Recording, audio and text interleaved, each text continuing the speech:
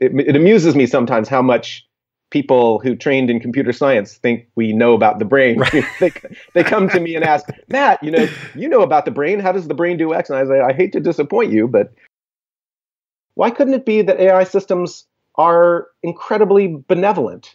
You know, when we think about wisdom in studies of religion and spirituality, our usual assumption is that insight leads to benevolence.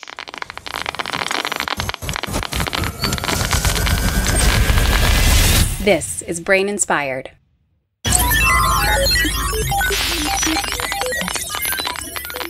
Hey everyone, I am Paul Middlebrooks, and the voice that you heard previously is that of my guest today, Matt Botvinick. Matt is the director of neuroscience research at a little company you might know called DeepMind. So, DeepMind, as I'm sure you do know, is the AI research company behind systems like AlphaZero that are demolishing uh, all their opponents in games like chess and Go. And of course, they do a lot more. The approach to artificial intelligence at DeepMind is heavily inspired by neuroscience. Uh, and Matt and I discuss that approach and that philosophy. Uh, we talk about reinforcement learning in AI and in brains. And we cover his work suggesting that the prefrontal cortex could work with the dopamine system to together serve as a meta learning system. Uh, we also talk about his recent research into creating theory of mind in AI agents and a lot more. This episode is a little bit longer than usual. Matt was generous with his time, and as you'll hear, he has a generous spirit as well. That's right, I said spirit. So, I continue to love doing this podcast, and I hope that you enjoy it. A quick thank you to recent Patreon supporters Jay, Judith, The Stoic. Thank you guys for helping me combat the ever present eye rolls I get from my wife whenever I tell her that this is a worthwhile endeavor. You guys are awesome. You can find the show notes and learn how to support the show at braininspired.co. All right, enjoy your time with Matt. All right, Matt Botvinick. Thank you and welcome to the Brain Inspired podcast. Thank you. It's a pleasure to be here. You, sir, are the director of neuroscience uh, research at DeepMind. And you came to DeepMind via neuroscience, most recently from Princeton University. And you have a, a ton of uh, accolades and um, areas that you've researched in neuroscience in the past. Uh, kind of famous for conflict monitoring uh, cognitive control, the function of the anterior cingulate cortex, and, and on and on. And you and I actually have a, a common past, partly. You got your PhD at CMU, Carnegie Mellon University, and, and you spent some time after that in the uh, Center for the Neural Basis of Cognition in Pittsburgh, yeah. which mm-hmm. is the program that I got my PhD in. Oh, wonderful. and you, I guess you were there pretty early on, right when it formed, I suppose yeah, I was I was around when uh, it took on that name, and I, my my PhD was actually through the CNBC, and uh, yeah, I definitely would not be where I am or doing the things that I'm doing today if I hadn't had that training. It was it was really fantastic. Anything you miss about Pittsburgh? Uh, anything I miss about Pittsburgh? I miss the French fries on the sandwiches. Do you? Uh, yeah. Pretty good, yeah. It's changed a lot since I was there, from what I understand. But yeah, I had a wonderful time in Pittsburgh. I, I don't think the French fries have changed, though. I think they're yeah, the same. but so this is interesting. Before you got into neuroscience and, and, cognitive neuroscience, you were an art history major. So I would be amiss uh, if I didn't ask you what you think of these new generative adversarial networks that are generating these new artworks. Do you have a yeah. do you have a take on those things? Uh, it's funny. I when I first started uh, spending time at DeepMind, the generative models were, shall we say, uh, still in development compared to where they are now. And they they would uh, when you know the the idea with a generative model is that you um, you build an autoencoder, so you feed in an image and then it tries to reconstruct that image through a sort of coding bottleneck. But then you can you can flip a switch and use it to imagine new images. Mm. Uh, and you hope that those images, if, ever, if, if you're doing your job right, then those images should essentially come from the same distribution as the original. And I remember when I first spent time at DeepMind, the the images that were being generated uh, in that second mode were quite beautiful and sort of mysterious, and they kind of seemed like things you would that would come out of a dream state or something like that. Yeah. And so yeah, I did. I remember thinking, geez, somebody should like pick some of these and make a make a show out of it, make a gallery show out of it. And that may, for all I know, have actually happened. The problem is that the generative models have gotten better and better. So now when you put the the system into generative mode, it just produces something that looks like an actual picture of a hamburger. Right. So they're not they're not nearly as aesthetic as they used to be. They're they're far too realistic. Well, one of the uh, a portrait just sold at uh, at the famous I cannot Soothby Soothby's. Is that Is right? Sotheby's? Sotheby's, yeah. Uh, just sold for a ton of money. Um, It did it really? Yeah, yeah. I hadn't seen that. Anyway, I, I thought, you know, because I have an artist friend down the road here whom I thought I should get him in the studio and just ask him, like, put up these pictures and ask him what he thinks uh, Yeah. about the art, the quality, you know, and things like that. So, There's definitely something very um, uh, there's it, it, there's something about the images that that are produced by generative models, especially of like a, a couple generations back, you know, like last year, uh, um, that it's not just that they're interesting. You you have this feeling that they're tapping into something in your visual system, so something very primordial in your visual system, uh, and I don't think anybody really understands uh, why that's the case. But like I say, you know, what's being produced now is much less interesting because the generative models are so much better that they really do produce images that look um, photographic, even though they're not showing you, uh, uh, you know, they're not just duplicating some photograph that was in the training set. right. What I'm what I'm waiting for is synthetic music. That'll be a big breakthrough. I people have been trying to do this with neural networks back, you know, since the days when I was at the CNBC in Pittsburgh. right, right. And um, even back then, what people were what people found was that you could get so far as generating plausible melodies. Um, it is possible to build a system that learns from examples how to generate interesting melodies. What wasn't working back then, and I, to be honest, I don't know the state of the art these days. It's not something that we're working on at DeepMind, as far as I know.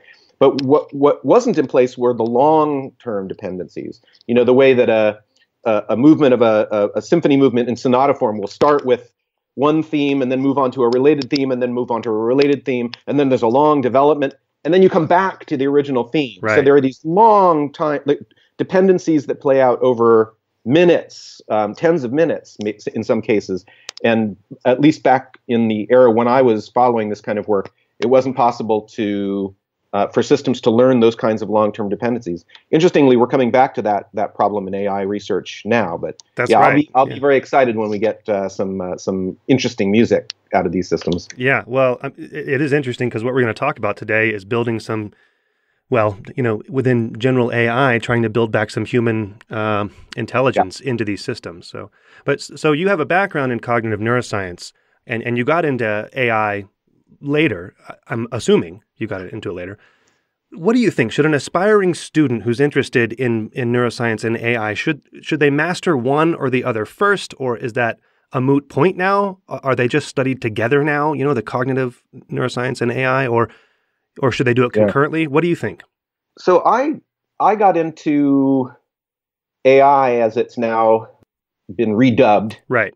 in a in a kind of in in imperceptible way because the what what got me interested in in neuroscience and psychology was neural networks, artificial neural networks, and you know in the 90s and 2000s um, when I started doing this kind of work, there was this lovely um, lovely lack of clarity uh, in terms of when we were doing psychology or neuroscience and Yeah. when we were just thinking about how to build an intelligent system. And you know i i ended up pursuing a, a, a career in neuroscience and cognitive psychology but all along the way i've always kind of felt pulled toward just thinking about intelligence in general from time to time. And one one thing that i'm really enjoying about working at deepmind is that i get to work both sides of the field without worrying too much day to day whether i'm doing one or the other.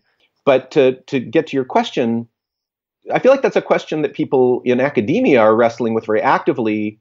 Uh, both students who are looking at the very dynamic landscape of opportunities that they'll have after they are done their training, Mm. and also degree programs um, who are looking at the same dynamic landscape and wondering how to set their students up uh, as best they can. And I guess the answer I would give is that there's really no there's no one size fits all.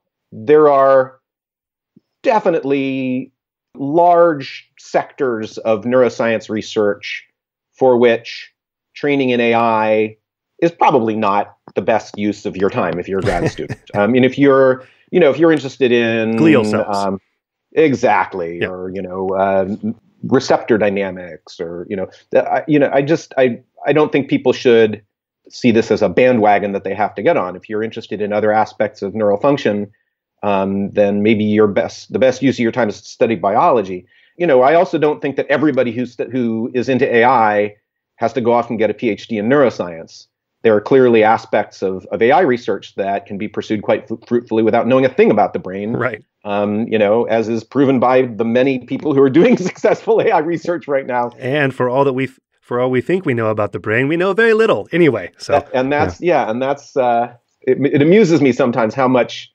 people who trained in computer science think we know about the brain. Right. they, they come to me and ask, Matt, you know, you know about the brain. How does the brain do X? And I say, I hate to disappoint you, but isn't that we frustrating? It's so frustrating to have to say that. okay, well that that that's a good answer. But I mean, the yeah, the the the the final piece of that is that there really is a growing area of overlap, and you know, there is there is a, a growing market both in the literal economic sense and in the sort of more intellectual sense for people who speak all of these languages.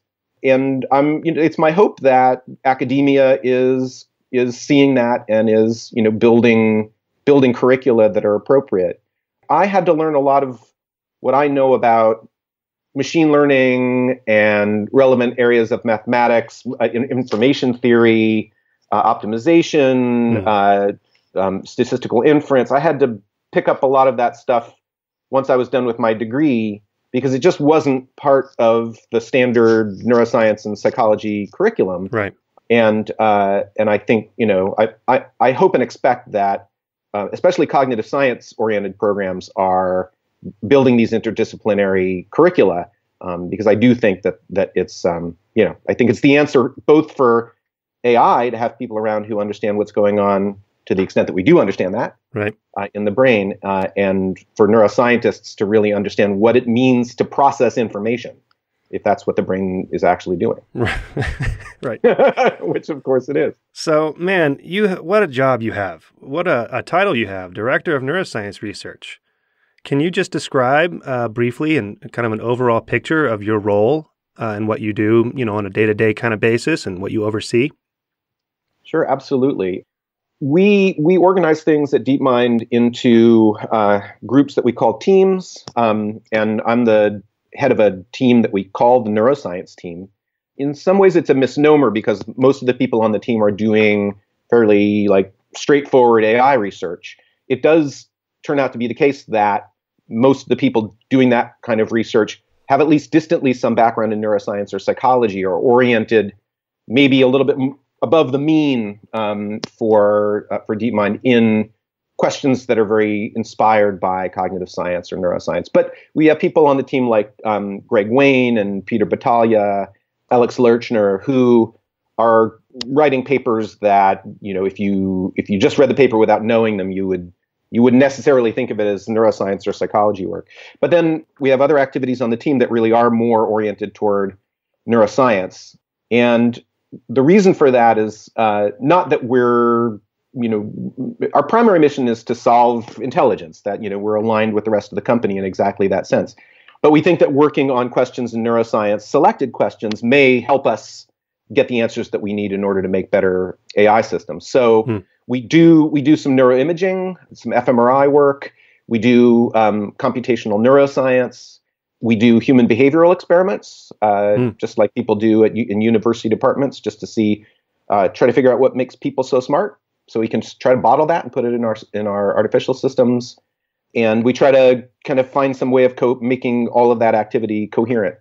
the other thing, the other thing that we do um, is one challenge of the kind of AI work that we do at DeepMind is that since it involves learning, we often end up with systems that are doing something that looks quite intelligent, we can't tell by just watching their behavior exactly how they're doing what they're doing. Mm. So you end up with a problem that's quite analogous to the problem that a neuroscientist has. You're watching uh, an animal do some, you know, navigate or make decisions in an intelligent way, or you're watching uh, another person do so, do something intelligent, and you know there's something interesting going on in their brains that's giving rise to that behavior, but it's a research project to figure out what that is. Hmm. Uh, and we end up with the same problem in AI work. So we have a group within my team at DeepMind whose full-time job it is to try to do neuroscience on these AI systems and figure out exactly how it is that they're doing what they're doing. Very good. Let's get into a little bit of the philosophy uh, of, of the DeepMind approach. So there's this really nice review in Neuron uh, from last year. Uh, and in the review, you lay out why neuroscience is important for AI and vice versa in the quest to understand intelligence, like you just said, and, and build general AI. Yeah. So I often wonder whether we're selling ourselves short using human intelligence and neuroscience as a guide uh, to develop general AI. But there's this uh, a well stated argument for studying the brain in the paper, and it goes as follows the space of possible solutions to general AI is just is super vast, right? And in all likelihood, really sparsely populated. So there are very yeah. few solutions in this large space. And humans are the only example that we have uh, for general AI, and therefore human cognition is the smartest way to proceed. And then once you recognize that, you have to then further say that animal cognition is important in that it provides this window into higher level cognition. So yeah. I, I just think that's a pretty solid argument for using human AI, even though it could be that we are selling ourselves short. What do you mean by selling ourselves short? Well, what if one of the other three solutions in this vast space are simpler, better, uh, you know, outstrip our abilities immensely, yeah. you know, things like that. But how would we know? How would we get there? Yeah. So I think you've you've stated the case uh, very nicely. I mean, for me, it's much easier to, to motivate this decision to attend to neuroscience if you state things in the negative rather than saying we need to attend to neuroscience in order to solve agi instead say wouldn't it be crazy not to pay any attention to neuroscience yeah sure so you know I, I think i think there really is a good analogy in the the history of aviation it, it, and this is actually a little bit of a complicated story to tell because people often use this exact example to make the opposite case. I've heard people say, oh, well, you know, paying attention to neuroscience may be a bad idea. Look at aviation. Right. People didn't succeed in building the airplane until they deliberately ignored birds because birds were distracting them somehow. And, you know, obviously they weren't trying to build, the, the task was not to build a bird. It was to build something out of, uh, you know, wood and, and other kinds of material, not feathers and without flapping. And so the bird thing was a big distraction and it slowed everything down. In fact, if you look at the history, that's categorically false. That's fake news. I'm here to oh, tell geez. you. Um, so the history of aviation actually played out quite differently. Um, and if you look at what uh, helped the Wright brothers finally succeed, even in the final stages of uh, designing their aircraft, they were thinking very concretely and immediately and in a detailed way about birds. Mm. They had a problem with um, what they called lateral control, getting the airplane to kind of stay going forward or to, to, you know to turn where they wanted it to turn and they were reading books on how birds handle this problem. And birds do an interesting thing by twisting their wings in a particular way. And they the Wright brothers used exactly that solution in their in their first aircraft.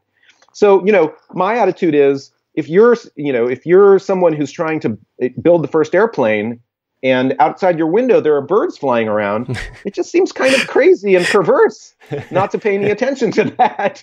Um, uh, you know if nothing else it's an existence proof right you probably right. wouldn't even be trying to build an airplane if you hadn't seen the birds in the first place and actually neuroscience still plays an existence proof role in a lot of in, in a lot of ways there are things that our ai systems can't do that we probably wouldn't even be aspiring to if we didn't have human cognition in mind. Certain mm. kinds of rich inference and flexibility, and um, but even at a more detailed level, I think um, just it's just patently foolhardy to ignore neuroscience and psychology as a source of information. It would be it would be equally foolish to be over literal, uh, to ignore the fact that we're not trying to build a brain here.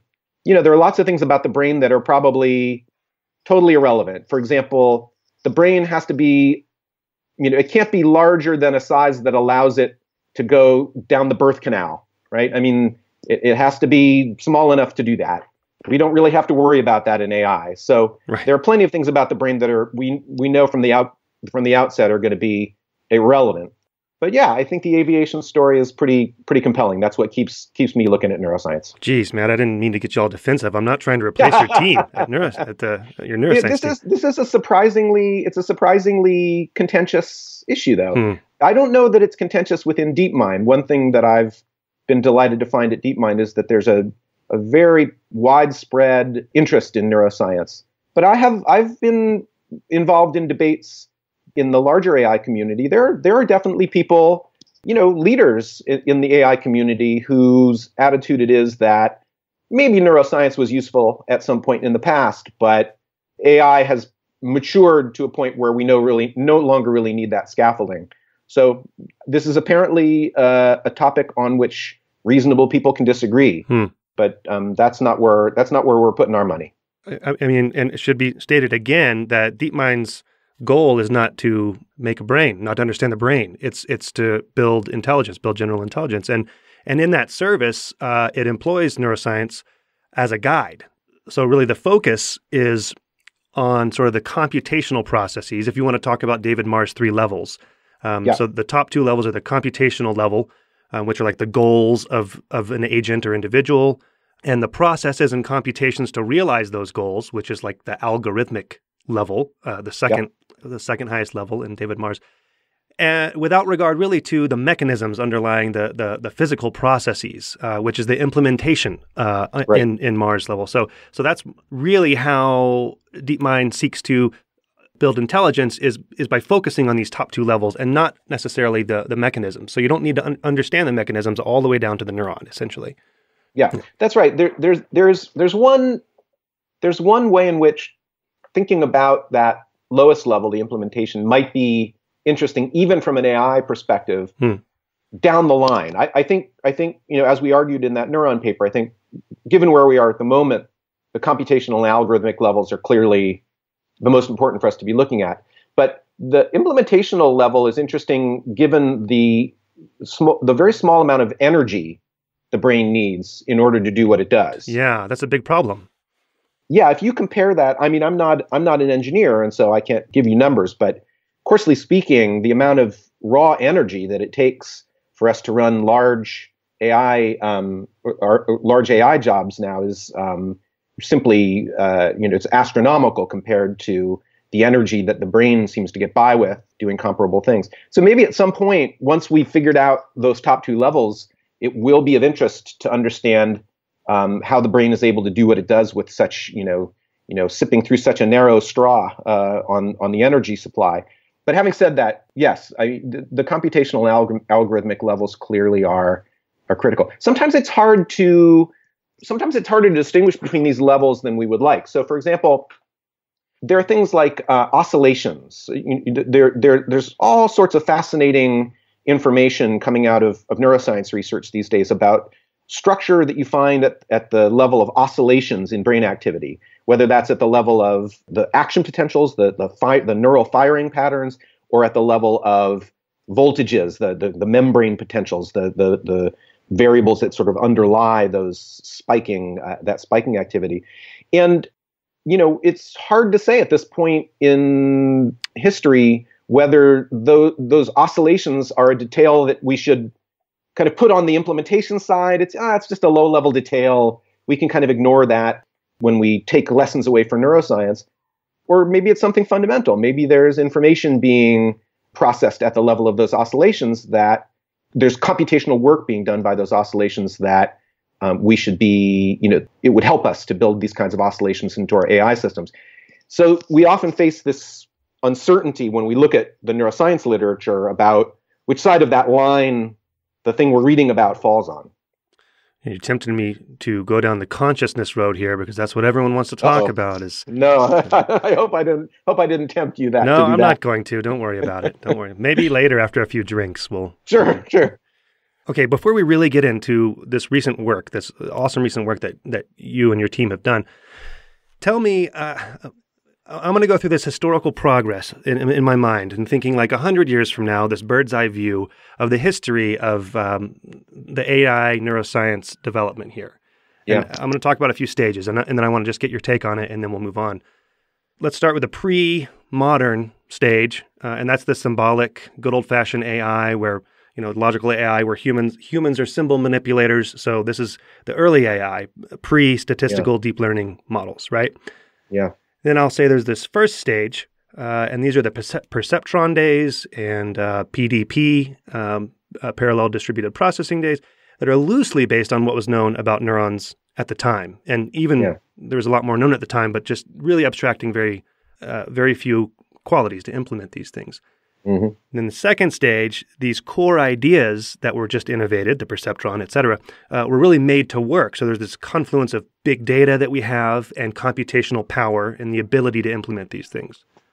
Uh, yeah. And this is when like added layers were added and convolutional neural networks and recurrent neural no- networks, uh, including adding some technical tricks, some inspired by brain science, most not, I would say. Uh, and, and then, of course, the, the reinforcement learning driven conquest of the gaming world, you know, that mm-hmm. DeepMind does. Yeah. Okay, so now I'm going to say now we're at this third stage, and now we have these statistically awesome models. Uh, you know, we've gone completely away from good old fashioned AI with a symbol based AI. AI wins all the games that we train it on. It blows us out of the water. The general public is being taught to fear uh, AI because it's going to take over the world uh, and we'll be its pets, you know? Um, and th- but there's a lot of backlash now from people like Melanie Mitchell, whom I'll speak with in a week or two, uh, mm. uh, like Josh Tenenbaum, Brendan Lake, uh, who are saying, "Hey, this smart AI is is really pretty dumb. Uh, it's it's pretty narrow and really far away from general AI, which is what people mm. think of when when you just say AI. And it's time to learn about and add in some of what we know about how humans really learn. So." Mm. Uh, what do you think about that? 100 years from now, looking back on it, what would you change about that story? Well, I'm I'm a I'm a great admirer of of uh, Brendan and, and, and Josh, um, and I talk to them about this kind of stuff all the time. And it, it's funny because you know, reading the literature, you might think that there are these, you know, very clashing perspectives, but right. actually, when we get together to talk about it, I, I honestly think we're much more on the same page than it than it might appear. In other words, I think in the end, these are all pieces of the puzzle, and we just have to put the whole puzzle together. Good old fashioned AI was you know focused on questions that are still entirely fundamental today. Right. Um, how does reasoning uh, play out? Um, what's the format of representations uh, that you need in order to reason? Uh, what's the format of representations you need in order to plan? To construct new knowledge out of old knowledge?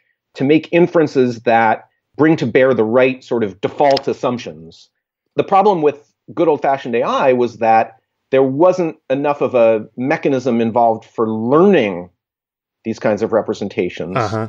um, especially learning them f- in, in a perceptually grounded way um, through actual in- interaction with the physical world. Right. And so, you know, it, it was necessary for AI researchers to do what came to be called knowledge engineering, where you had to simply uh, effectively write down in your computer code yeah. everything that a human would know about the world. Like uh, you know a hamburger has uh, half a bun on the bottom and half a bun on the top and you know uh, every little thing that a human knows about the world which is obviously an impossible task. There's no there's no way to do that. But that doesn't mean that the the objectives of good old fashioned ai were were misguided we're we're wrestling with exactly those challenges today we have a way of developing grounded knowledge, deep learning and deep reinforcement learning is wonderful for um, making sense of sensory information and interacting um, in a kind of grounded agent based way with a physical environment.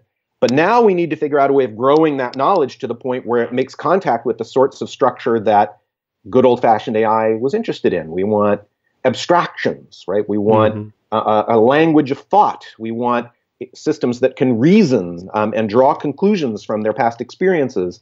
And we also, it, you know, it's very true. We want systems that learn rapidly because they leverage their existing knowledge. We want systems that don't need to uh, play chess for you know thousands and thousands of games before they start playing reasonably. Um, we want a system that is more like a human, where you know, if you've never played chess before, I can sit you down and explain the rules. you won't be a grandmaster after an hour, but you'll be playing. Hmm. and uh, in a you know, by the way, that none of this is to is to take away from the the profound impact that these existing deep RL systems have, like AlphaGo. I mean, I wouldn't be a DeepMind if it weren't for right. uh, the Atari work that was going on and AlphaGo. I mean, these are mind blowing breakthroughs to my mind. But it is true. The next thing to, that we have to take on as we go down this path toward true AGI is we have to combine that kind of deep, sophisticated knowledge gained through huge amounts of experience. Um, we have to build systems that have that, but that are also flexible and that are cognitively nimble. They can make sense of a new situation very rapidly uh, based on a few observations. So, you know, these are these are things that cognitive scientists have been focused on for for years uh, including me in some of my research. Mm-hmm. And so we need to get them into the picture.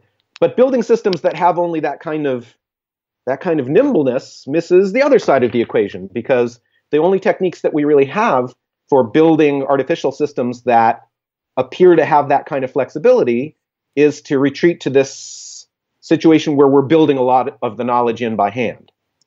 So the bottom line is, I think, you know, to answer your question, 100 years from now, I think the narrative is going to go, look, you know, there were these different um, research communities focused on different, you know, pieces of the elephant, you know, the old parable.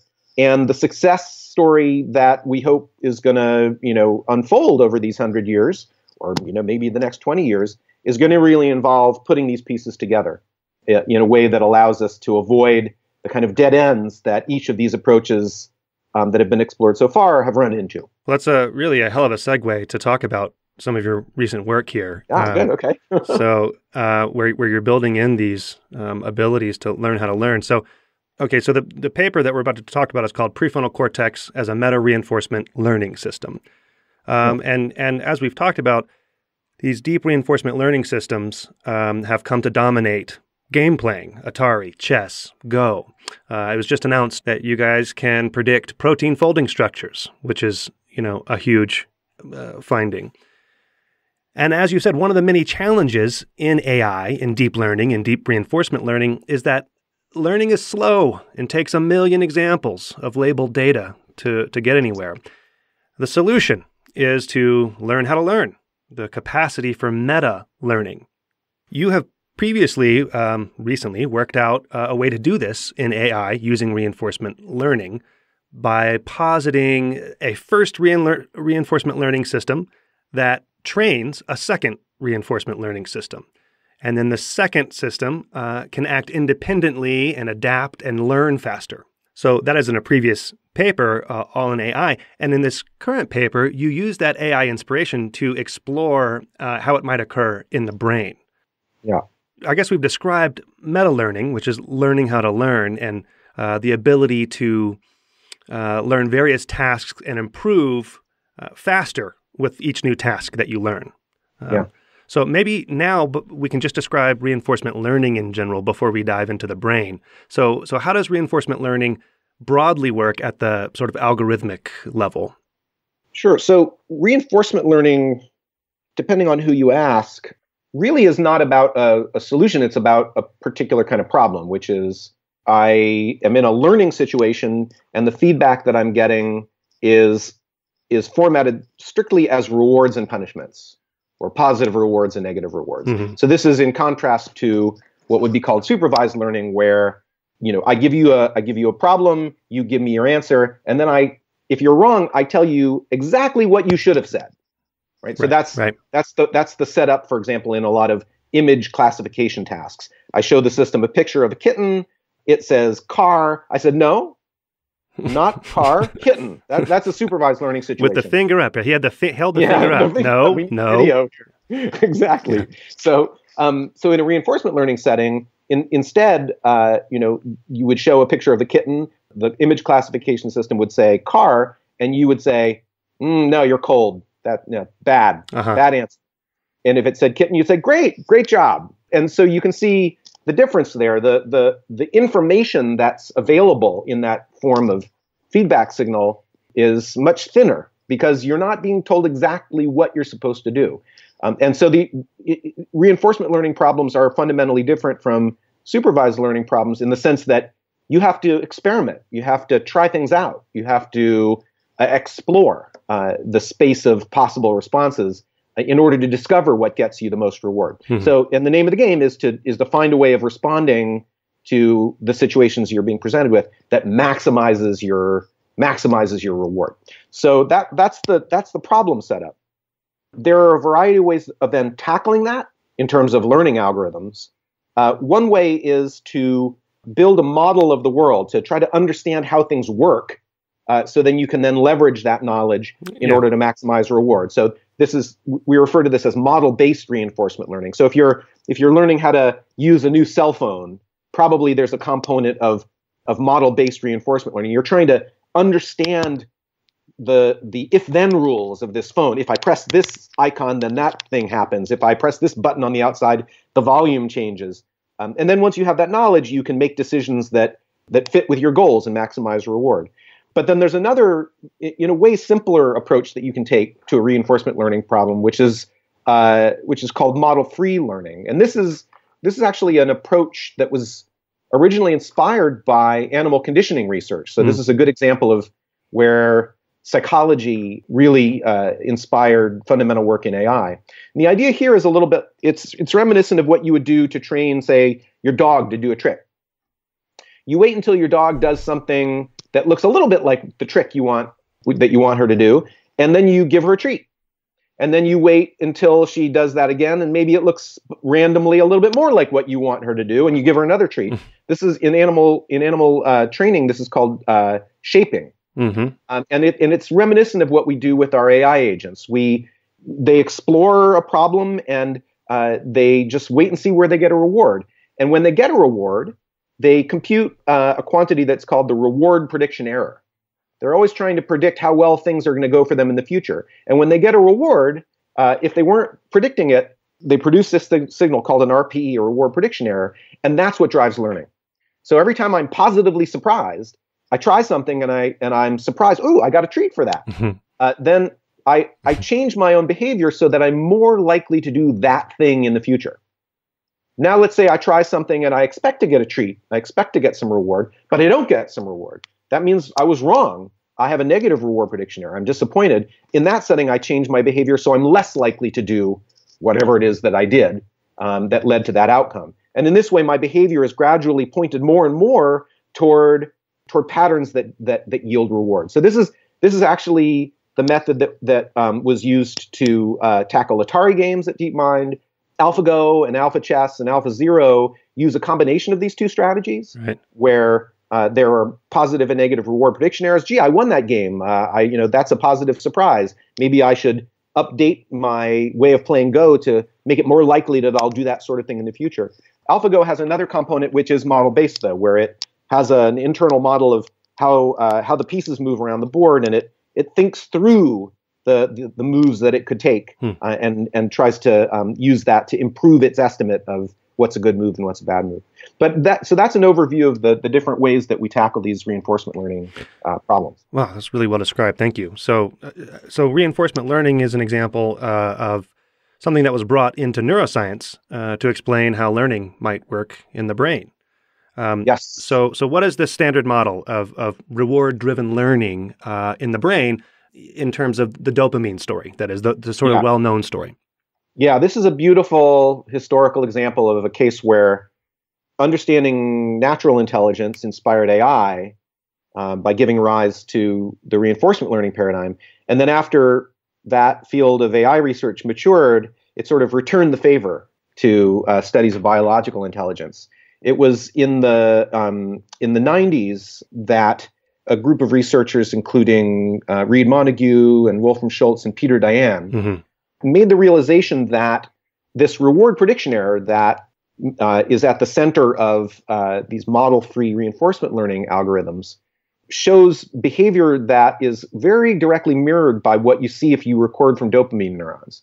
So, as I understand the history, they were they were reading about new data from Wolfram Schultz's lab. Wolfram records from dopamine neurons in monkeys and, and other animals And it was there was this aha moment where they said that looks exactly like a reward prediction error. No It way. like- Those aha moments don't happen. yeah, yeah it's uh, you, that's what you that's what you live for as a scientist Yeah, is that right. aha moment. Yeah. Um, yeah. So that that connection, um, it turns out, uh, appears to be at least coarsely quite valid when monkeys and other animals, and including humans, when when we're surprised by a reward outcome. When uh, we get reward we weren't expecting, that's when dopamine gets excited. Right. When we're disappointed, we were expecting some reward and it fails to materialize, we get a dip in dopamine release. And there are many, many details of dopaminergic functioning that fit with this with this account. And so the the standard story, so to speak, has become uh, this temporal difference reward prediction error uh, account of dopamine, where if there's a positive reward surprise, there's a uh, an unexpected reward, dopamine uh, release increases, and this serves as a learning. This lear- serves to drive learning. So I said before in the AI setting that if you have a positive reward prediction error, you should make yourself more likely to do whatever it is you just did again in the future, um, because it turned out better than you thought. Yeah. Uh, and that's exactly the mechanism that lies at the heart of the neuroscience theory. The, the idea is that dopamine is released into parts of the brain that are responsible for shaping behavioral policies, uh, stimulus response associations, including parts of the striatum, a nucleus deep in the brain. Uh, and when there's a positive reward prediction error, the strength of the connection between the perceptual input that you had and the action that you produced is increased. Um, so you're, you know, in that sense, more likely to do that thing again in the future. Um, and then uh, obviously you can flip the sign on that for negative reward prediction errors, um, and you get a weakening of those associations. So the story in neuroscience is remarkably parallel in all of those ways to to the to the AI story. The way that we train AI systems these days really does parallel quite quite immediately what we believe is going on uh, in the brain, driven by dopamine. Okay, so so dopamine is a reinforcement learning system. And I said at the outset that you guys used a reinforcement learning system to train another reinforcement learning system in, Right. in your earlier work. Now, uh, the prefrontal cortex is known to also represent a lot of representations that underlie uh, reinforcement learning as well. Yeah. Um, and I guess the new thing that you guys have posited and explored here is that prefrontal cortex is its own self-contained reinforcement learning system. And and you can explain this a little bit further that the dopamine system serves to train the prefrontal cortex reinforcement learning system and in that way is meta learning and allows us to speed up our learning and generalize to uh, other tasks. Yeah. Yeah. So, two things. One, so how do these systems work together as a meta reinforcement learning system? 1st of all, Mhm. So I think the the way to come at it that makes it easiest to understand is to start by talking about different kinds of memory. When you're thinking about how memory plays out in the brain, there are at least two different mechanisms by which some piece of information could be stored in memory. You could change the synapses, right? You could change the connection strengths between neurons. This is a way we know for sure that that long-term memory is encoded. So, Right. you know, if um, uh, you know, if we if we remember this interview a month from now, it'll clearly be the case that there were some that we remember it because there were some synapses that were changed in our brains, and the the strength of those synapses what is what stores the information, stores the memory of this of this event. Mhm. There's another way that you can store information and memory in the brain, though, which is simply at the level of neural activity. So if I if I have to remember um, a telephone number for a few seconds, I guess nobody really has to do that anymore. But this this this is the old fashioned example that we always you're, you're showing your age. Yeah. Yeah, exactly, exactly. So, um, you know, I, I need to remember some short list of something uh, just for a few minutes, for a few seconds. My brain doesn't need to change the connection weights to do that. I just need to hold, so to speak, hold it actively in memory. So let's say, let's say there are some neurons in my brain that, when they fire, uh, when they're active, they're representing the number two. And there's another group of neurons that, when they're active, they're representing the number three, and so forth. So I can I can hold a, a telephone number in mind without changing any of my synaptic weights, without changing the connections between neurons, just by keeping those neurons active for a while. hmm we think that that's a mechanism involved in working memory. That's the term we use in, in cognitive psychology. Uh, working memory is just the kind of memory that you use to maintain information over short periods, to actively maintain some piece of information that you know you're going to need shortly. So, so there's this distinction between weight-based or synapse-based memory and activation-based memory. So, how does activation-based memory work? Well, in order for those for those neurons to stay active, one mechanism by which that can happen is a feedback loop. So, in other words, one of these neurons becomes active. How does it stay active? I can keep feeding input to that neuron by reading that telephone number over and over again from a page, but that's not really holding it in memory. A good way to hold it in memory would be to have a feedback loop where I activate those neurons, and then I have a connection from those neurons that eventually forms a loop back to themselves so that when they fire, they, exci- they keep themselves firing, they excite themselves. It's a positive feedback loop. Mm-hmm. And we know that these kind of feedback loops exist all over in the brain. Uh, and we think that that's a mechanism by which the brain holds information uh, active over short periods. That's a mechanism for working memory. And the prefrontal cortex is a critical place for this to happen. Right. So, so you can think of the prefrontal cortex very, at a very high level of abstraction as a big feedback loop, a big circuit that once you once you make certain un, certain neurons in that circuit active, they will tend to stay active and maintain information over time. So now imagine using that kind of system to learn. Let's say I'm uh, I'm in a casino and I'm trying to decide which of these slot machines is, is most likely to pay off. You know, a good way of solving that problem, assuming there aren't too many slot machines that I'm considering, is to try them out, right? You know, I try this one over here for a while, I try that one over there for a while, and I see where I win more often. And eventually, with enough data, I decide, ah, it's that one over there that's paying off more often. Um, in machine learning, this is called a bandit problem, um, based on that exact analogy. So notice that in order to do that kind of learning, I have to main, I have to hold in memory the information that I've gathered so far. I have to maintain some sort of record of which machine I tried and whether I won on that machine. And I need to continually update that record mm-hmm. of my past experiences in order to be able to decide what to do now. This is just a definition of learning, really. So, in the standard dopamine story, that learning is happening at the level of synaptic connections. Right. I play a machine, I win, I change my synaptic weights. I play a machine, I lose, I change my synaptic weights. But it's it's equally plausible that our brains handle this kind of learning situation in that other way, using activities. So I have a certain bunch of neurons in my prefrontal cortex that when they're active, it means I played that machine and I won. And another set of neurons that's, that when they're active, they mean I, I played that machine and I lost. And so I can maintain a record of what's happened so far by just activating certain neurons in my prefrontal cortex. Um, and together they encode uh, information about what I've tried and how well it went. And I can use that information to choose my next action. But it, but in, so, in that case, doesn't the correct doesn't the right signal need to be input into that um, network for those for that activation to take place to know, oh, this is the third from the left. Uh, absolutely. Okay. Absolutely right. So just the way that in order to hold on to a telephone number in your working memory, at some point your ears have to receive the telephone number. Um, there has to be some sensory input that gives you the information you want to hold in memory. It's exactly the same in, in, in reinforcement learning. This memory system has to have access to the relevant the relevant pieces of information. It has to have perceptual information that says, I played that slot machine. That's information about actions as well. Uh, and it has to have information about eventual rewards. So mm. the prefrontal cortex has to be getting information about perceptual inputs, action outputs, and rewards. Fortunately, we know it it receives all of that right. information. Right. Yeah, the necessary ingredients. Right. Exactly. Prefrontal cortex listens to essentially everything that's going on in the rest of the brain, so it's in a perfect position to integrate that kind of information. So now to now to kind of put these pieces together, I said before that working memory depends on this kind of feedback loop, uh, where neurons excite themselves so that they can stay active once they're once they become active. This learning situation requires something more, which is that the circuit has to also update itself every time it gets a new piece of information.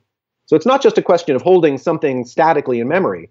It's also a question of taking what you already know about those slot machines, adding in the new thing that you just observed, uh, and updating your overall in, your overall representation of which slot machine is better, and doing that every time you play a new slot machine.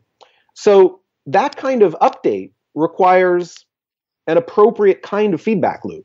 right? In other words, the mm. way that new information gets integrated with existing information can't be random. It has to follow the rules of the game. It has to represent the right quantities. And so, in order for the system to work, that feedback loop has to be parameterized correctly. The, the synaptic weights in that feedback loop have to be correct. Ah, uh-huh. um, and so, and so you end up with the question: Well, wait, where do those? How do those connection weights get learned? How do those synapses get set so that this feedback loop, this working memory mechanism, does the right things um, in a learning situation?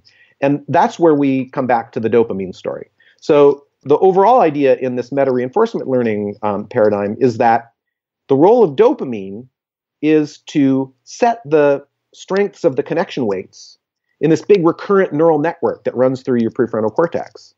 And the purpose of adjusting those weights is to set up the right kinds of feedback loops, the right kind of activity dynamics, the right kinds of update rules in that activation based memory mm-hmm. that really in the end is doing all the work. It's like when you're playing when you're trying to figure out which of those slot machines is the right one to, to play, that's really all happening at the level of neural activity, at the level of this working memory based, activity based um, memory system. But the reason that that system works in the first place is because dopamine based learning has very slowly and gradually sculpted it, changed those connection weights so that everything uh, operates the way that it should.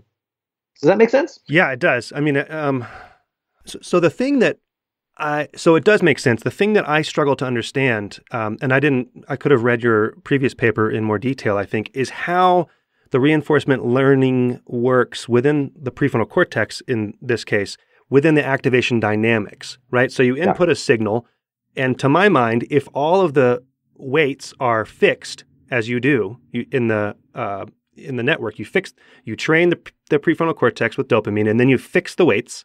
Yeah. And then you start asking it questions. Then you then you test it, and right. you see that the reinforcement learning is working within the activation activation dynamics. That's and right. I'm and I'm struggling to understand how that is working without changing weights. Does that make sense? Yeah, well, it it's working without changing weights because the weights are already set to do what they need to do. So, in other words, imagine you're you're you're in one of in a very simple bandit problem. So you're just trying to figure out whether to pull the left arm or pull the right arm uh, on a two-arm bandit, a slot machine. Imagine a slot machine with two arms.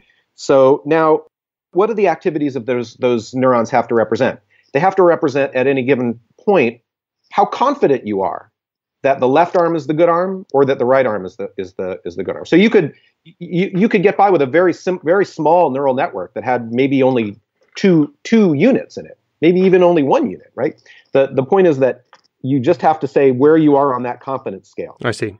So what are the what do the connection weights have to do? Well, they have to assure that when you let's say I play the left arm and I get rewarded, the system then has to update its confidence representation, right? It has to say, uh, oh, now I think I, am a little bit more sure the left arm is the good arm because I just played that arm and I uh, and I won.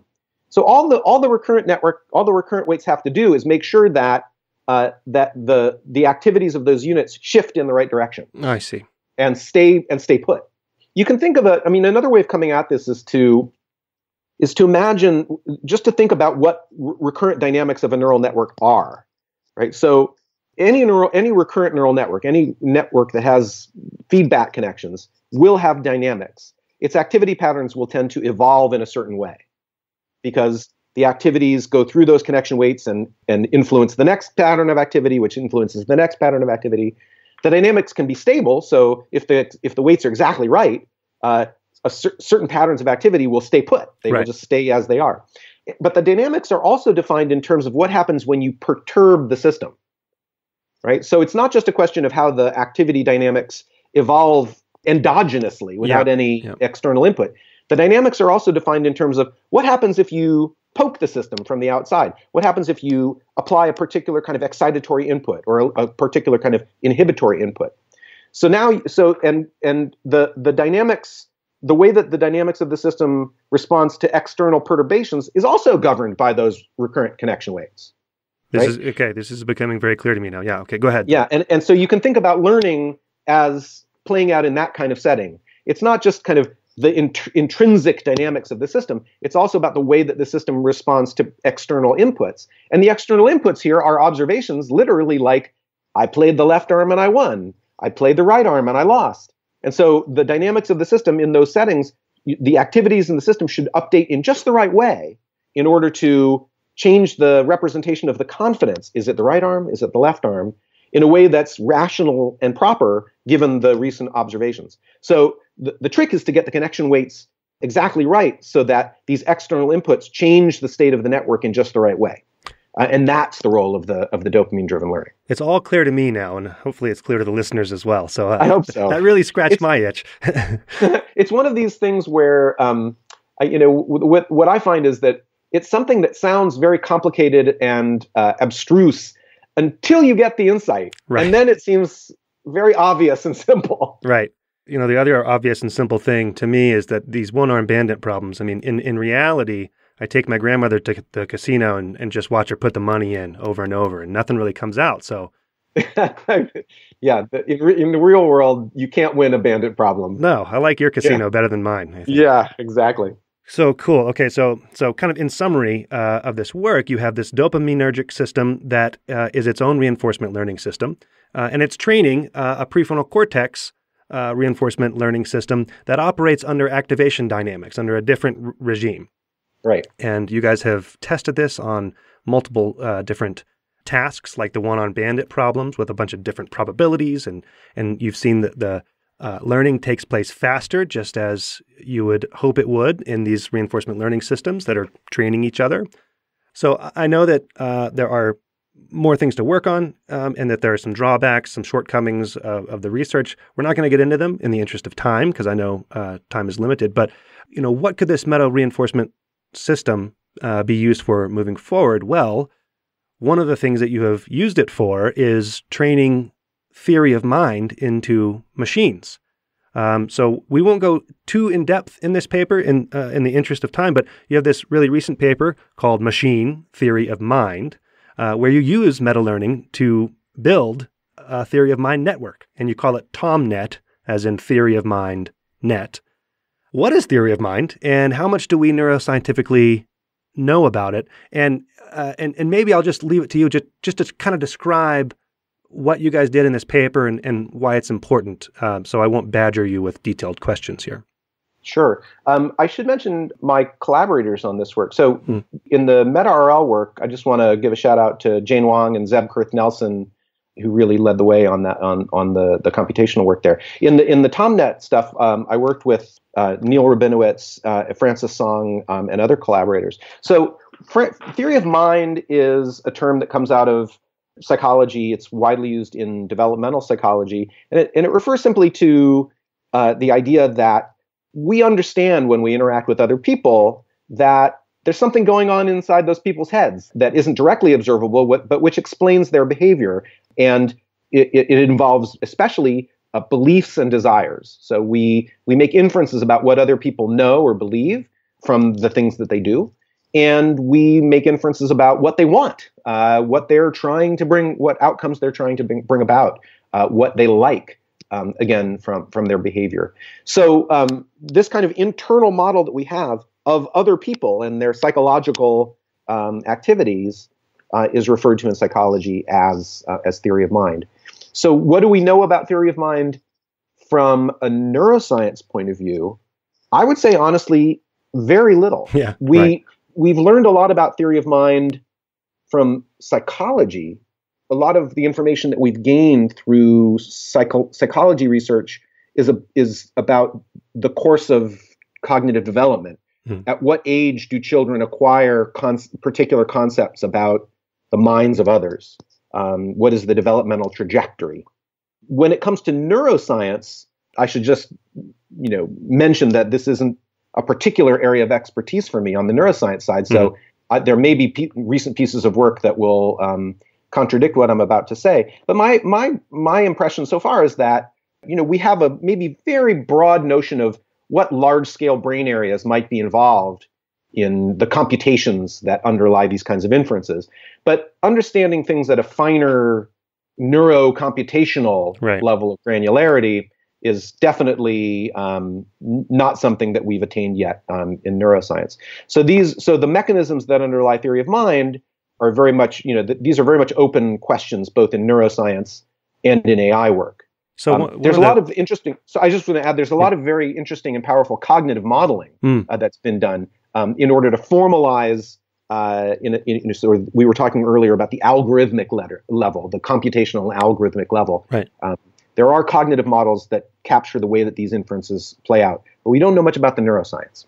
So one of the points you make in the paper is uh, kind of a, a problem, a recurring issue that comes up when people discuss these things is that we don't understand these AI systems. We don't understand how they're working. So it's important for an AI system to be able to tell us essentially how it's working. And, and that's one reason why you went about uh, trying to build theory of mind into the machines. And you make the point that as humans, we don't understand each other at the level of single neuron activity. We have these abstract mental models of each other. Yeah. And yeah. so your the way you built in theory of mind into these machines is not to understand every individual unit and what that means, but to build an abstract model of another machine. And so I, I think that's a really interesting way to go uh, forward. So maybe you can just take it from there and and talk about what you know what you did. Yeah, I think our motivation in this work was was multifaceted. We, you're absolutely right that one of the things that we had on our minds was how are we going to understand these AI systems that we're building? Um, and we had the kind of know, cheeky idea that maybe we could use AI to understand AI. Just as we understand one another at the level of these abstractions, beliefs, desires, and so forth, maybe we can discover the right abstractions that would allow us to understand the behavior of the AI systems that we're building without having to understand what every little unit in these deep neural networks is doing. And w- by the way, maybe we can also constrain the representations that arise in these understanding systems so that they align with what humans uh, are naturally positioned to understand. Well, that, that's not to say that uh, we we couldn't use every single unit in a uh, in an AI system because you know the, it's called the black box problem. But then often people, I don't remember who coined the uh, term. It might be Dan Yamins, but it was really a white box problem because we do have access to all the units. It's just that that might not be a useful way of going about doing it. Right? Exactly. I mean, I, I think there's a there's a perception among neuroscientists that part of the problem is that they they they don't have enough data about what's going on in the brain. This was you know maybe up until 10 years ago before these amazing new neuroscience techniques uh, hit yeah. the hit the hit the bench you know, people had to make inferences about what was going on in entire brains, looking at like eight neurons at a time. um, and there was a kind of envy, I guess, uh, toward um, people studying AI systems because, gee, you know, you, you, folks get access to every little bit of what's going on under the hood. Right. But um, but it's a curse, it, blessing and a curse. It, exactly. And, and and neuroscience now is in a, an analogous position because uh, it is possible now to record from thousands, hundreds or thousands of neurons, depending on the technique you're using, at once. But even when you have access to that kind of large scale data set, it's very hard to figure out what's actually going on um, and figuring out the low dimensional structure that actually underlies uh, you know what's happening in these high dimensional systems is a really challenging problem both for neuroscience and AI. So the idea in the work that we did was to say, look, rather than trying to figure all of this out as human researchers, let's build a learning system that will discover the, these the proper level of abstraction for itself. And so the, the basic idea was let's take a model that observes another behaving system uh, and just tries to predict what that other system, that other agent is going to do next. And the only twist on that is that instead of just allowing our theory of mind network to observe what this target agent is doing right now, we also give it several examples of what this same observed agent uh, has done recently in the past to give you the in- intuition, if I if I'm shown several YouTube videos uh, that show me uh, the last several restaurants that you went to and what you ate there, I can make some inferences about that about what you're likely to do at the next restaurant you right, go to. Right. If you keep going to cheesesteak restaurants, then the probability becomes much higher that you're going to go to another cheesesteak he says from and, Philadelphia. Exactly, exactly. I've got cheesesteaks on the mind here. So, uh, you know, that's exactly the the strategy that we used in this in this theory of mind work was let's just build a system that learns to take observations from past experience, but from past behavior, I should say, and to make predictions about uh, what should be observed then in new behavior.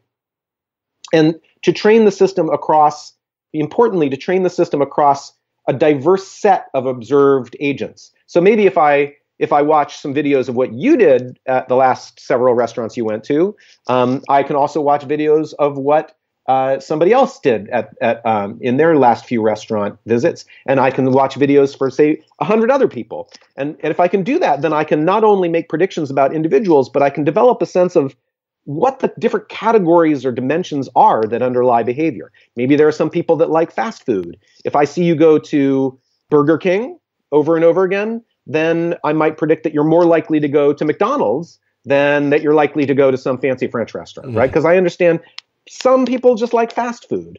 And I can I can learn what we call a low dimensional manifold that that describes the range of behavior that we see across a population. And this is something that, you know, there are low dimensional manifolds that that describe human behavior. Decades of research into the structure of human personalities mm. has led to these dimensional models where there are debates about exactly how many dimensions there are to human personality, but there aren't that many. There's somewhere on the order of five dimensions that really do capture a lot about what makes a particular person, what gives them the personality that they have. So the idea in this machine learning or AI project was to build a learning system that can identify that kind of low dimensional structure and figure out, oh, I see there are there are different kinds of people, and here are the particular kinds of ways in which people differ. That, and, and armed with that kind of knowledge, then I can observe the behavior of a new person and very quickly make mm. inferences about what else that person's likely to do. Yeah. Does that make good. sense? Yep. Yeah, that's good. So this is so you guys implemented this, and I'll I'll point people uh, to the paper. Uh, it's just, it's really fun. You say cheeky, I say fun work uh, that you guys are doing. So Matt, we're really up against time here. I want to ask you. I usually ask you know a few broad general questions to uh, each sure. guest. So uh, I will just ask you a few here then, and then I will I will let you go. You're only three hours away from French fries on a sandwich, so I'm sure after this you gotta you gotta get there. So that's exactly right. so so what is something that's uh, a little out there uh, that that someone else might find hard to swallow that you believe will come out? You know, maybe after you've had a couple drinks, it catch you off guard. You might say mm. that oh, I think this is going to come out of the interface of neuroscience and AI. Well, I I I'm a believer that it won't take any special kind of magic for AI systems to develop a representation of self. Oh, man. Actually, some of the first work I did as a graduate student um, in Pittsburgh was about, about self representation. There's a, a thing that's come to be known as the rubber hand illusion, ah. um, which is something that I, I um, dreamt up when I was a graduate student, um, which is about it's an illusion that sort of reveals something about why we think our bodies are belong to us. Why they're why why my body is me uh, as opposed to other things in the environment which aren't me. What I took away from that research was that there's really nothing magical about that. It's just that there are certain patterns of correlation in our perception. So you know, m- my hand is me simply in the sense that when something touches it, I feel that I have a tactile experience. That's not true of the desk that's in front of me. If something touches the desk, I don't feel it. That's a very fundamental um, difference that's detectable from perception. It's detectable in perceptual data. So you can build you can build a representation of what the bodily self is, as opposed to other objects in the environment, simply from the structure of the perceptual data that you get. I think the same is going to be true. I think it's going to be turtles all the way down. I think so you once we have sorry you, you, don't you don't think embodied cognition is important the the embodiment of the cognitive processes is, is oh, no, a no. special ingredient or something no I, I think embodiment is hugely important but really all that's needed for this to start happening is embodiment per se yeah. if you if you have an agent that has a body yeah. Uh, it has multiple senses um, and it's capable of uh, encoding the patterns of correlation between different senses um, and how those depend on the interaction between the body and other objects in the world, then this just spontaneously gives rise to a distinction between the body and the world, the self and the rest of the world. And I have this idea that more cognitive notions of selfhood will also arise in that same way. So if we have, you know, our brains have memory systems, our brains have attentional systems. If we then have internal models of how those things work, uh, something that psychologists call metacognition, you know, if we have systems that build those kinds of statistical models, I think it'll just happen that they develop a sense of uh, of self in in exactly the way that that that humans have. So I don't think anything magical is going to be needed.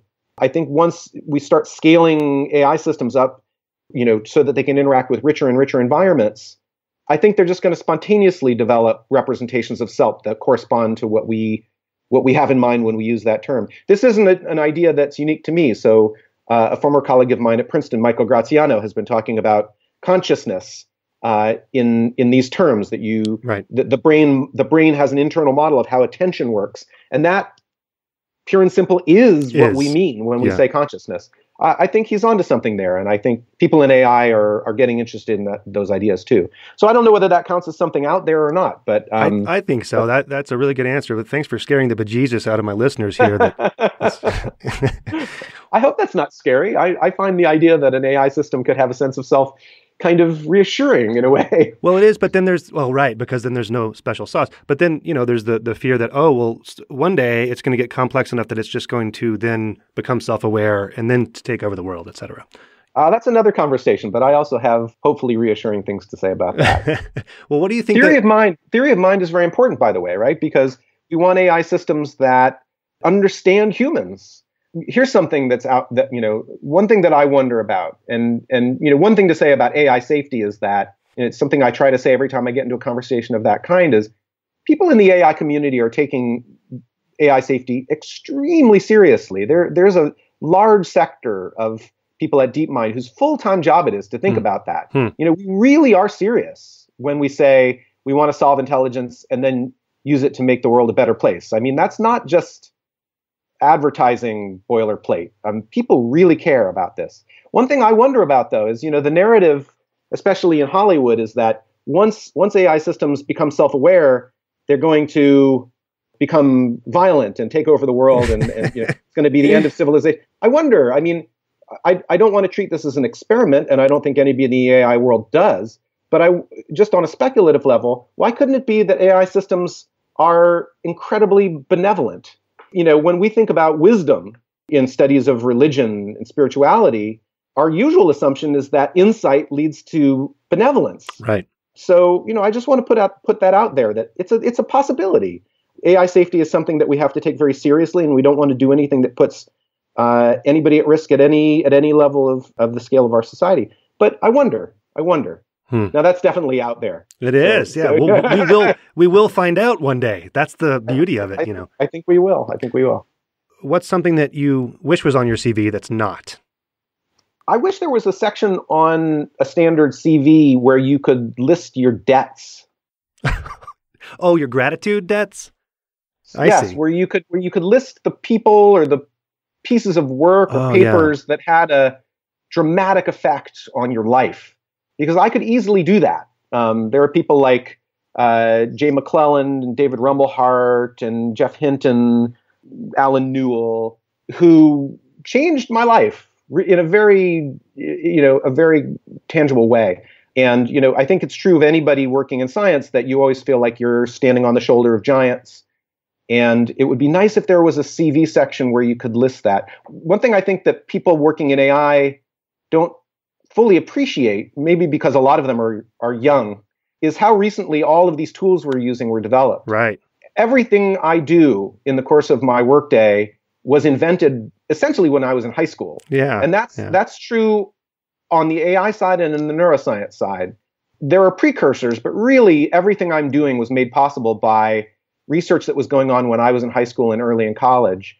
And it would be lovely if there were a place on my CV to give a shout out to the people who did that amazing pioneering work um, that really m- makes my life possible. Man, that's speaking of the benevolence of the higher cognitive self-aware processes. you know, here we go. So your proof, proof is in the pudding. Okay. if self-awareness is going to kind of arise, you know, out of all these other uh, traits that we program into these intelligent systems, is there anything that you think is? And you mentioned music, for instance, and and sort of the mm-hmm. longer term uh, overtures of music as being yeah. a somewhat difficult or interesting problem. Do you see any trait of intelligence um, that will you think will be especially difficult uh, to build in uh, into general AI? So there are clearly particular aspects of cognition that are that present current challenges. So long-term temporal credit assignment, you know, making connections at yeah. large temporal scales is one uh, that we've already discussed. Having the right kinds of abstractions that guide rapid learning is another one that we've already discussed. What I want to come back to in your question is the phrase build in, because mm. to some extent, I, I'm a believer that there's only so much we're going to be able to build in. We need systems that that learn the right kinds of things from interacting with the world. And that's where one of the biggest current challenges comes in. Because if that's the strategy, if we want AI systems to develop rich knowledge from interactions with the world, then we have to have a rich world for them to interact with.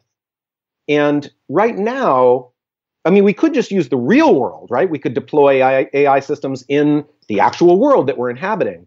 That's a hard thing to do because learning in real time through interaction with the real physical world uh, is slow and it requires, frankly, robotics techniques that we don't have. Robotics is a really developing field. It's hard to get robots to do what we want them to do. Right. So to deploy AI systems, uh, to put them in the same kind of situation that a, a young child is in and hope that they'll learn in that exact setting is really beyond our reach. We don't have we don't have systems that learn fast enough or that are good enough at interacting with the physical world to do that. So so instead we rely on simulation environments, simulated environments. And that's why video games are such a great boon for AI research because right. They give us an environment where the goals are well defined, the solutions are tricky to discover, but where uh, an, an, AI agent stands a chance of exploring and discovering the right the right way to solve a problem. The, pr- the problem is that even the richest video games, even the most complex video games that we currently have, pale in comparison to the real world in terms of their right. semantic richness and diversity. um, and so, uh, so we end up with a with a problem that's not so much about how we build our agents, but rather how we build the environments into which we introduce these environments, the environments that provide the training data for the learning systems that we're hmm. building. And this is a this is, I think, a challenge right now being confronted by the whole AI community. If we want rich knowledge through learning, we need rich environments yeah. um, where learning can can occur to some extent, there's a kind of irony in this because it means that we have to start thinking, well, what does it mean for an environment to be rich? If we want an, if we want an artificial agent to acquire a particular kind of concept or abstraction, then we have to build the environment in such a way that that, that abstract idea is both necessary for successfully behaving in that environment and also available from that environment. And so we have to start building environments very deliberately so that they they have those properties, which means that in a way we're in danger of getting back into the original knowledge engineering. Track, right, right. In, in good old fashioned AI, the problem was, oh gosh, you know, we have to build all of this knowledge into our agents, and that's essentially impossible. And now there's the the risk that we're facing an analogous challenge is, oh, we have to build a world that's rich enough that it'll give rise to real intelligence in these learning systems. Um, how do we build a world that that's that's that rich? I think of uh, you know for for for listeners to your podcast who read uh, Hitchhiker's Guide to the Galaxy, mm. there was a character Slartibartfast who built a replica of you know part of the the world. He built I think the the fjords of Sweden or something. And to some extent, AI research is turning into that. We're trying to build these very rich environments, um, and it's a fascinating challenge. But I think it's one of the most difficult challenges that we're we're facing right now in AI research. Matt, thanks for spending so much time with me today. And uh, I, you know, I'll have to have you back on because there's just so much more to talk about. And continued success with your work. And uh, uh, I just I wish you the best, and I appreciate what you're doing. So so thanks for being here. Thank you so much. It was uh, it was a real delight for me. Thanks.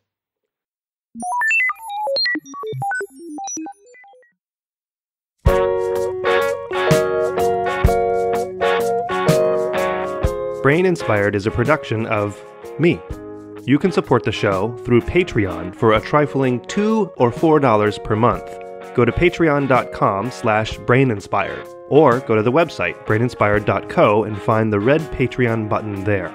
Your contribution will help keep this show going without any annoying advertisements like you hear on other shows. To get in touch with me, email paul at braininspired.co. The music you hear is by The New Year. Find them at thenewyear.net. Thank you for your support. See you next time.